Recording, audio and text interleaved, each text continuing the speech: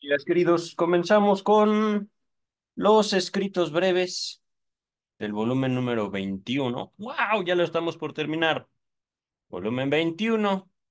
Primer escrito breve a Ernest Jones por su cumpleaños número 50. Ajá.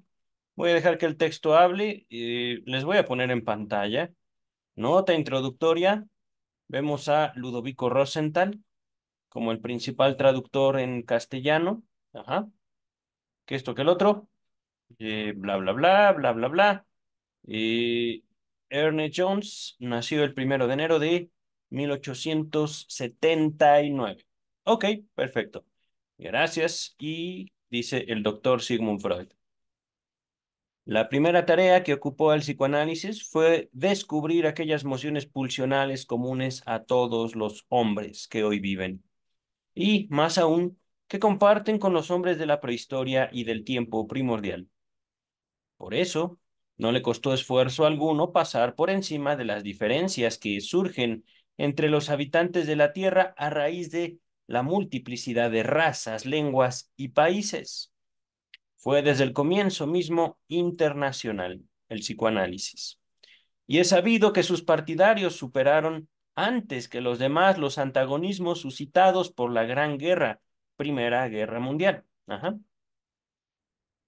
Entre los hombres que en la primavera de 1908 se reunieron en Salzburgo para celebrar el primer Congreso Psicoanalítico Internacional, se destacó un joven médico inglés con la lectura de un breve ensayo sobre, entre comillas, la racionalización en la vida cotidiana. El contenido de ese trabajo inaugural se ha mantenido vigente hasta hoy.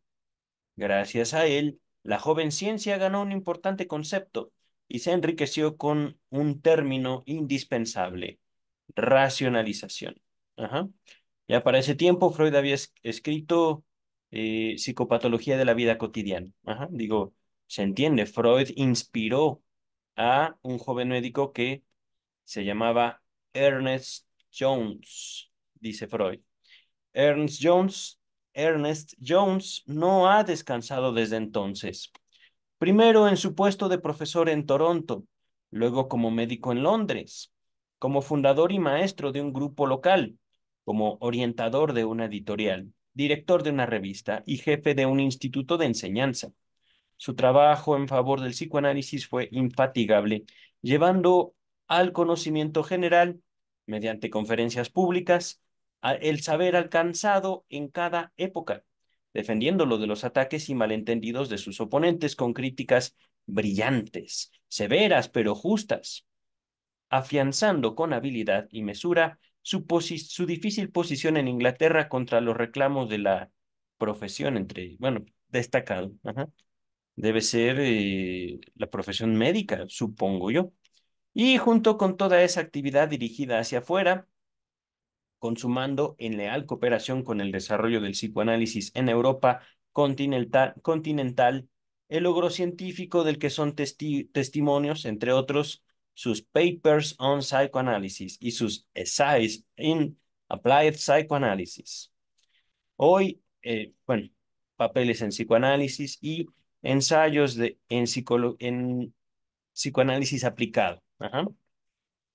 Hoy, en el apogeo de la vida, no es solo reconocido como guía, indiscutido por los analistas de los países de habla inglesa, sino como uno de, sus sustentadores más sobresalientes, uno de los sustentadores más sobresalientes del psicoanálisis en su conjunto, un apoyo para sus amigos y, más que nunca, una esperanza futura para nuestra ciencia.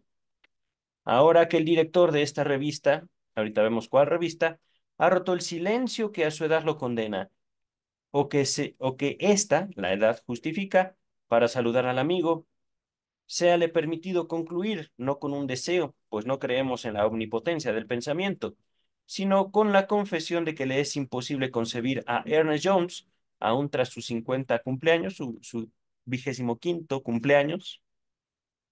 ¿Sí, vigésimo quinto? No, creo que vigésimo quinto es quince.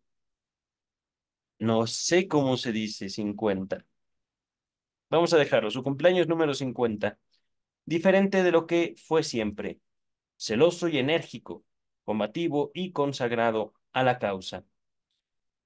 Freud era llamado director de esta palabra alemana, tanto de la Zeitschrift como de la Journal, de las dos revistas. Entonces, este director es él mismo, el autor de la carta que acabamos de leer, la carta o la felicitación, el reconocimiento.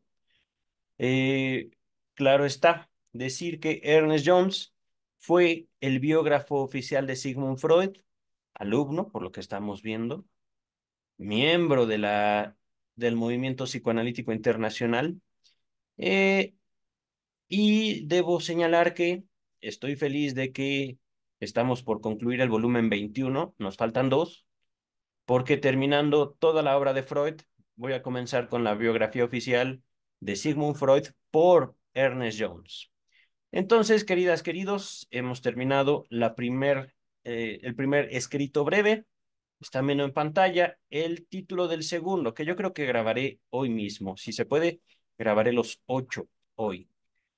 Que esto, que el otro. Cuídense mucho, chicas, chicos. Nos vemos en el próximo video. Bye.